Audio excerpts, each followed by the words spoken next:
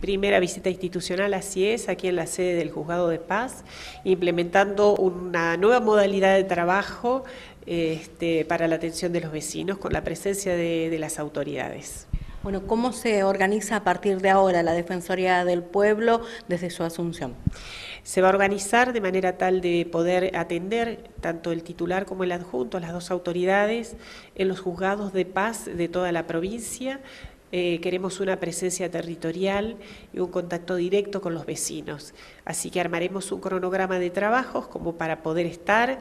Eh, saben ustedes que se ha hecho una reestructuración del funcionamiento de la Defensoría porque creíamos que hemos evaluado el trabajo de, algunas delegaciones y nos parece que no estábamos llegando, así que bueno, implementamos una nueva metodología a esto, digamos, a esta presencia territorial.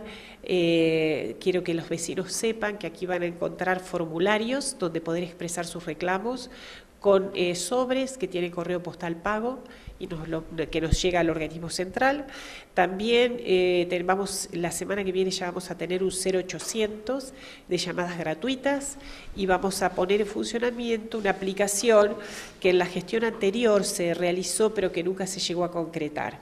Así que bueno, por supuesto que estamos a disposición de, eh, todos los reclamos que los vecinos puedan, necesiten, porque ustedes saben que el ámbito nuestro de competencia es la administración pública provincial es decir, todas las deficiencias que tienen que ver con los servicios que presta la Administración Pública Provincial.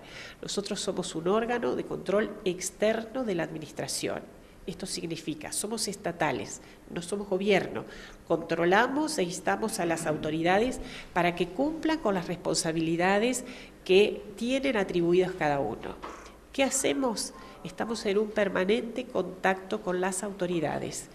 Nosotros, si bien somos externos, eh, yo entiendo, y el defensor adjunto también, que nosotros los problemas los tenemos que resolver a través del diálogo, del diálogo fluido y permanente con, eh, con las autoridades que son los que ejecutan las políticas públicas. Así que bueno, esta es nuestra política de trabajo y esperemos serles útiles a todos, ¿no?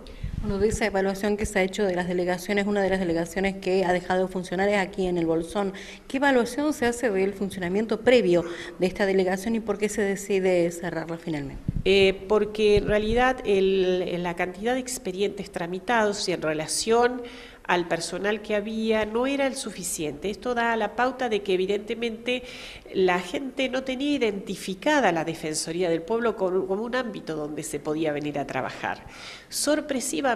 Y gratamente me encuentro con que en el juzgado de paz eh, recién he tenido una conversación amplia con el juez, lo mismo hice ayer en Bariloche con la jueza de paz.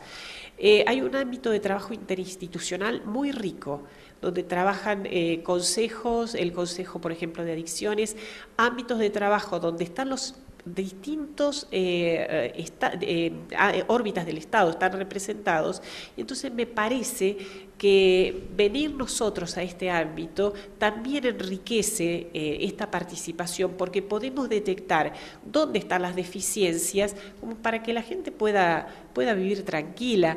Eh, yo digo siempre, tal vez eh, alguna persona puede imaginar que el defensor del pueblo lo que hace es denunciar a un funcionario por corrupto. Yo le digo la verdad de todos los días, la gente acude a la Defensoría del Pueblo para que le ayudemos a resolver su problema. Y esa es nuestra tarea. En nuestra Defensoría, digo, en la gestión esta, el protagonista va a ser el vecino que viene a reclamar. Y nosotros, que somos servidores públicos, tenemos que facilitar la solución a ese vecino.